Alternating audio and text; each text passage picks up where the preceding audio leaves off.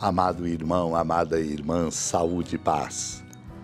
Nossa desafiadora travessia nos indica a importância de sermos amparados pela força maior, jorrada permanentemente do coração de nosso Deus. Dela nos vem a competência para a devida compreensão dos rumos e das exigências de nosso viver. Ensina-nos o segredo desta aprendizagem a atitude de escuta amorosa no exemplo sempre inspirador de nossa amada Mãe Maria. Naquele tempo disse Jesus a seus discípulos: Tenho ainda muitas coisas a dizer-vos, mas não sois capazes de as compreender agora. Quando, porém, vier o Espírito da Verdade, ele vos conduzirá à plena verdade. Pois ele não falará por si mesmo, mas dirá tudo o que tiver ouvido. E até as coisas futuras vos anunciará. Ele me glorificará, porque receberá do que é meu e vos anunciará. Tudo o que o Pai possui é meu, por isso disse que ele receberá e vos anunciará é meu.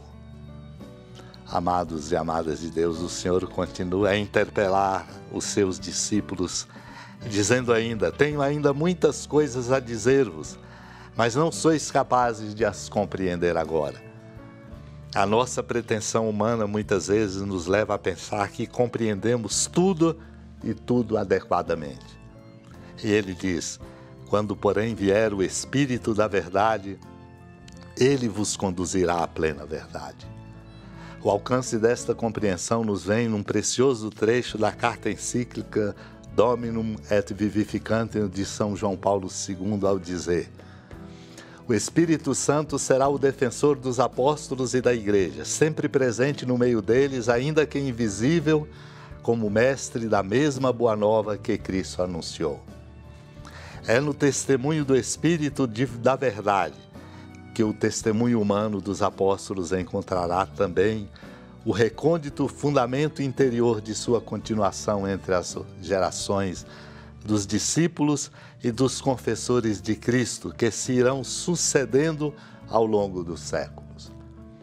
Sendo o próprio Jesus Cristo a suprema e mais completa revelação de Deus à humanidade, é o testemunho do Espírito que inspira, garante e convalida a sua fiel transmissão na pregação e nos escritos apostólicos enquanto o testemunho dos apóstolos lhe proporciona a expressão humana na igreja e na história da humanidade.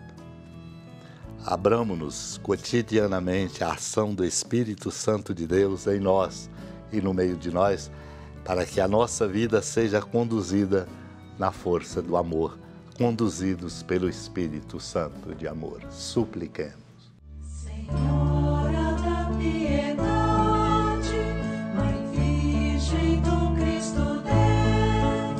Lembrai-vos, ó piedosíssima Virgem Maria, que nunca se ouviu dizer que alguém daqueles que, tendo recorrido à vossa proteção, implorado a vossa assistência e reclamado o vosso socorro, tenha sido por vós desamparado.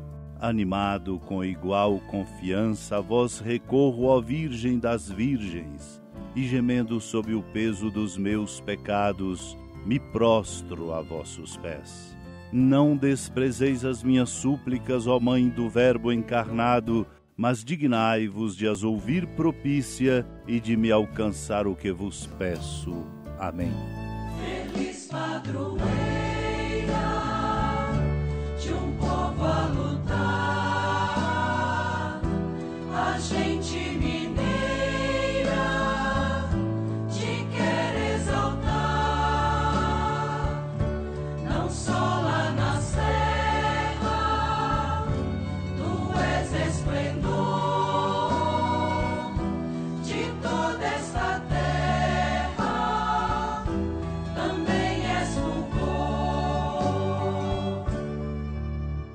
Amado irmão, amada irmã, com alegria do Santuário Basílica da Padroeira do Estado de Minas Gerais, a Senhora da Piedade, que da sua casa de clemência e bondade nos acompanhe e nos abençoa do alto da serra, magnífica arquitetura divina, a bênção de Deus, amor misericordioso, Pai, Filho e Espírito Santo, desça sobre sua família, proteja sua casa, sustente sua vida, fecunde o caminho missionário de nossa igreja, nos encha de sabedoria e permaneça conosco para sempre.